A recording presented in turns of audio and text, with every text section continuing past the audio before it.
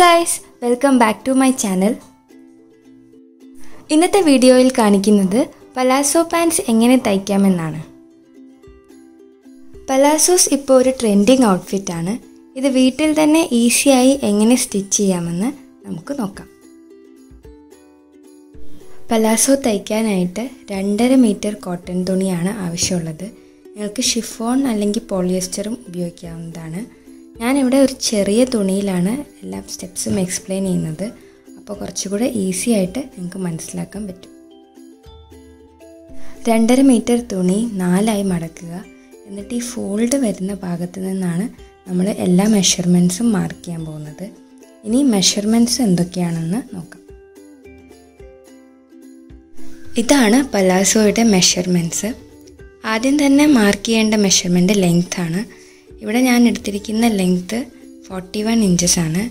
ഇത് മുപ്പത്തെട്ട് inch plus ഒരു മൂന്ന് ഇഞ്ച് സീമിങ് അലവൻസിന് വേണ്ടിയിട്ടാണ്. തുണിയുടെ താഴെ ഒരു ഇഞ്ച് വീതിയിലുള്ള രണ്ട് സ്ട്രിപ്പുകൾ മാർക്ക് ചെയ്യണം. അതുപോലെ തന്നെ മേൽഭാഗത്തും ഒരു ഇഞ്ച് വീതിയിലുള്ള ഒരു സ്ട്രിപ്പ് മാർക്ക് ചെയ്തിട്ടുണ്ട്. ഇത് രണ്ടും മടക്കി തയ്ക്കാൻ വേണ്ടിയിട്ടാണ്.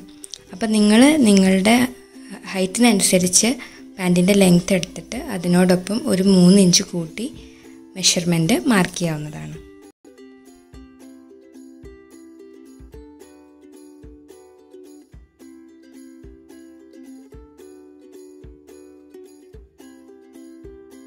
അടുത്തതായിട്ട് മാർക്ക് ചെയ്യാനുള്ളത് പാന്റിന്റെ വീതിയാണ്. ഇവിടെ ഞാൻ എടുത്തിരിക്കുന്നത് പതിനഞ്ച് ഇഞ്ചാണ്. പതിനാലര ഇഞ്ച് പ്ലസ് അര ഇഞ്ച് സീമിങ് അലവൻസിന് വേണ്ടിയിട്ട്. ഈ വീതി എന്ന് പറയുന്നത് നമ്മളുടെ പാന്റിന്റെ സീറ്റ് അല്ലെങ്കിൽ ക്രോച്ച് ഏരിയയിൽ വരുന്ന വീതി നമ്മൾ ഒരേപോലെ താഴെ വരെ എടുത്തിരിക്കുകയാണ്. നിങ്ങൾക്ക് നിങ്ങൾ ഓൾറെഡി ഉള്ള ഒരു പാന്റിൽ നിന്ന് സീറ്റിന്റെ അല്ലെങ്കിൽ ക്രോച്ച് ഏരിയയിലുള്ള വീതി അളന്നെടുത്തിട്ട് അതിനോടൊപ്പം ഒരു അര ഇഞ്ച് കൂട്ടി ഇവിടെ മാർക്ക് ചെയ്യാവുന്നതാണ്. അടുത്തതായിട്ട് മാർക്ക് ചെയ്യാനുള്ളത് ക്രോച്ച് ലെങ്ത് ആണ്. വേസ്റ്റ് പാന്റ് മുതൽ രണ്ട് പാന്റും പാന്റിന്റെ രണ്ട് കാലുകളും യോജിക്കുന്ന സ്ഥലം വരെയുള്ള ലെങ്തിനെയാണ് ക്രോച്ച് ലെങ്ത് എന്ന് പറയുന്നത്. ഇവിടെ ഞാൻ എടുത്തിരിക്കുന്ന അളവ് പതിനാല് ഇഞ്ചാണ് പതിമൂന്ന് പ്ലസ് ഒരു ഇഞ്ച് സീമിങ് അലവൻസിന് വേണ്ടി. അതുപോലെ തന്നെ വേസ്റ്റിന്റെ ഭാഗത്തുള്ള വീതിയും നമ്മൾ മാർക്ക് ചെയ്യണം. ഇവിടെ ഞാൻ എടുത്തിരിക്കുന്നത് പതിനൊന്ന് ഇഞ്ചാണ് ഈ നാല് മെഷർമെന്റ്സ് ആണ് നമുക്ക് പാന്റിന് അത്യാവശ്യമായിട്ട് മാർക്ക് ചെയ്യേണ്ടത്. ഒന്ന് ലെങ്ത്ത് പിന്നെ വീതി പിന്നെ മേലെ നിന്നുള്ള ക്രോച്ച് ലെങ്ത്ത് പിന്നെ വേസ്റ്റിന്റെ അവിടെയുള്ള വിടുത്ത് ഇത്രയും മാർക്ക് ചെയ്ത് കഴിഞ്ഞാൽ ഇത് നമുക്ക് കട്ട് ചെയ്തെടുക്കാവുന്നതാണ്.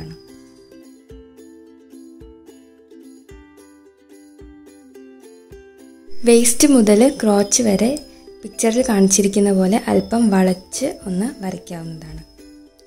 ഇനി കട്ട് ചെയ്തെടുക്കേണ്ട ഭാഗത്ത് ഞാനൊന്ന് വരച്ച് കാണിക്കാം. അപ്പോൾ ഇതേപോലെ നിങ്ങൾക്ക് സെയിം മെഷർമെന്റ്സ് തുണിയിൽ ചെയ്തിട്ട് കട്ട് ചെയ്തെടുക്കാവുന്നതാണ്.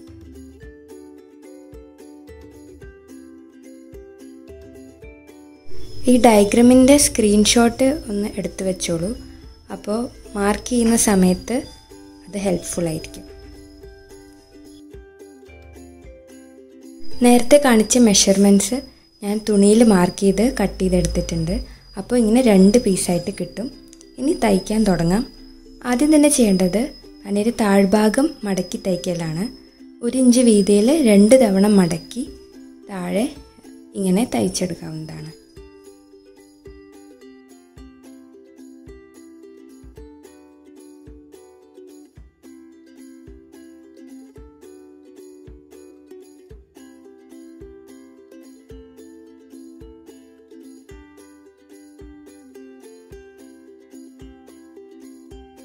ഇങ്ങനെ ഒരു ഡബിൾ സ്റ്റിച്ചാണ് കൊടുക്കേണ്ടത്. ഇതുപോലെ രണ്ട് പീസുകളും തയ്ച്ചെടുക്കാം.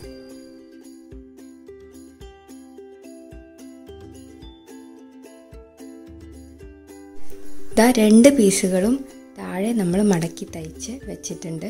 ഇനി ഇത് രണ്ടും കൂടെ യോജിപ്പിച്ചെടുക്കണം.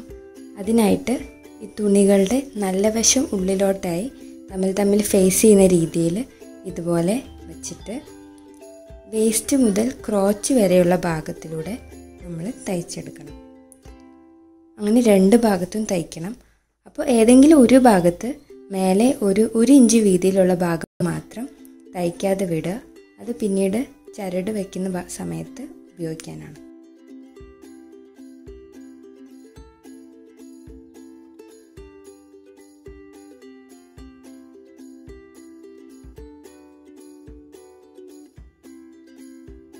ഇനി ഇത് തുറന്ന് ഈ സ്റ്റിച്ച് നടുവിൽ വരുന്ന രീതിയിൽ ഇതുപോലെ മടക്കിയിടുക.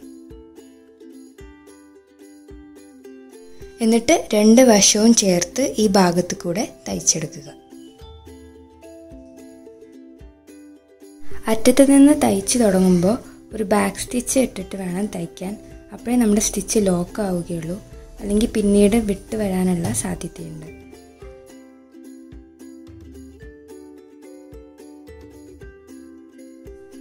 ഒരു കാൽ തയ്ച്ച് കഴിയുമ്പോൾ ഇതുപോലെ നിർത്തി തുണി തിരിച്ച് അടുത്ത കാലം കൂടെ തയ്ച്ചെടുക്കുക. എല്ലാ സ്റ്റിച്ചുകളും രണ്ട് തവണ കൊടുക്കാൻ പ്രത്യേകം ശ്രദ്ധിക്കുക. അപ്പോൾ സ്റ്റിച്ച് കുറച്ചുകൂടെ ഉറപ്പുണ്ടാകും. പെട്ടെന്നൊന്നും വിട്ടുവരില്ല.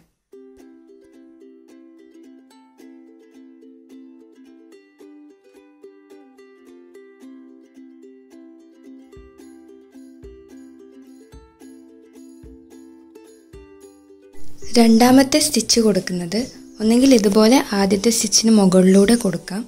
അല്ലെങ്കിൽ ഇതുപോലെ കാലിഞ്ച് വിട്ടുകൊണ്ട് കൊടുക്കാവുന്നതാണ്. അപ്പോൾ പിന്നീട് എപ്പോഴെങ്കിലും ഉള്ളിലത്തെ സ്റ്റിച്ച് ഊരി പുറത്തത് മാത്രം വയ്ക്കാനും പറ്റും. ഇപ്പോൾ നമ്മളുടെ പലാസോ പാന്റ് ഇതാ ഓൾമോസ്റ്റ് റെഡിയായി ഇനി വെയിറ്റ് പാന്റ് തയ്ക്കാൻ മാത്രമേ ബാക്കിയുള്ളൂ. അതിനു മുമ്പ് നമുക്ക് ഈ പാന്റ് ഒന്ന് അകം മറിച്ചെടുക്കാം.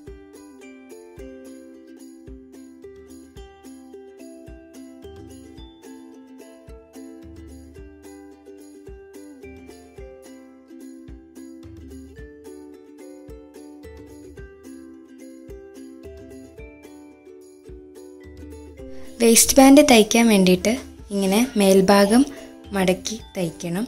ഇത് ഈ ചെറിയ തുണിയിൽ കാണിക്കുമ്പോൾ നിങ്ങൾക്ക് മനസ്സിലാക്കാൻ ഇച്ചിരി ബുദ്ധിമുട്ടുണ്ടാവും.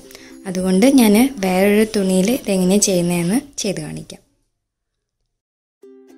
നമ്മൾ നേരത്തെ തയ്ക്കാതെ വിട്ട ആ ഭാഗത്ത് ഇങ്ങനെ മടക്കിയ ശേഷം ആദ്യം ഒരു കാലിഞ്ച് വീതിയിൽ മടക്കുക. പിന്നെ ഒരു മുക്കാലിഞ്ച് വീതിയിലും കൂടെ ഇങ്ങനെ മടക്കുക. എന്നിട്ട് കൈ കൊണ്ട് ഒന്ന് കുറിപ്പിച്ച ശേഷം താഴെ വരുന്ന ഈ ലൈനിലൂടെ ഇങ്ങനെ നേരെ ഒരു സ്റ്റിച്ച് കൊടുക്കണം.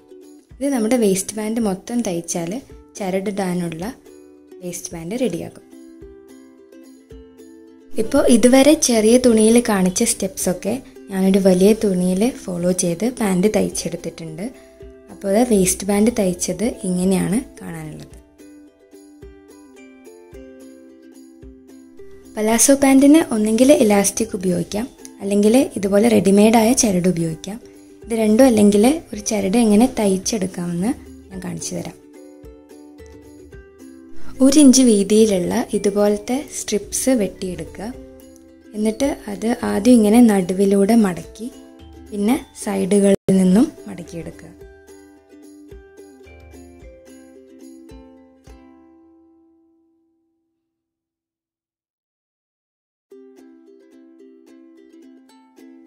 എന്നിട്ട് അറ്റത്ത് കൂടെ സ്റ്റിച്ച് ചെയ്യേണ്ടതാണ്.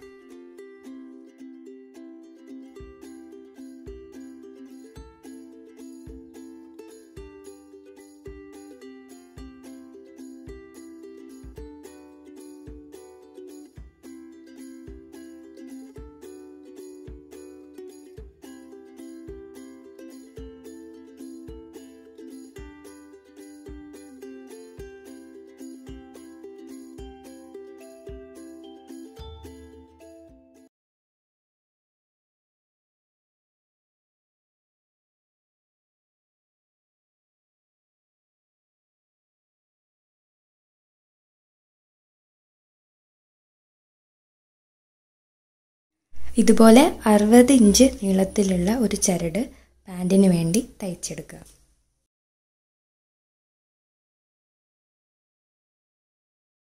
If you like this video, please give it a big thumbs up and also don't forget to subscribe to my channel. Leave your responses in the comment section and connect with me on social media so that we can be friends. Bye!